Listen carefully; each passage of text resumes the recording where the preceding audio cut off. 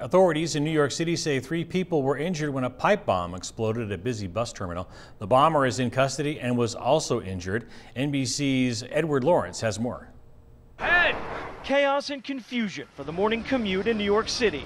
Boom. Boom. And then I just ran upstairs. Security video shows a pipe bomb exploding inside the Port Authority bus terminal. It was a bomb because I know I've seen movies and stuff, but this wasn't no movie. This is reality. People were scattering all over the place. Three people were injured, as well as the suspected bomber. This picture, posted on Twitter, shows the man who police say tried to blow himself up and injure others in a failed attempted suicide bombing. The device is based on a, a pipe bomb.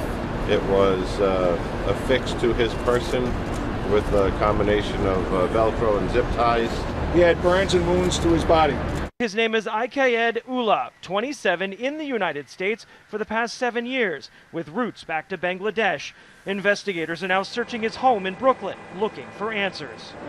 NBC News has learned Ullah told investigators he planned the attack in the name of ISIS and was angry over Muslims being killed around the world. I'm scared.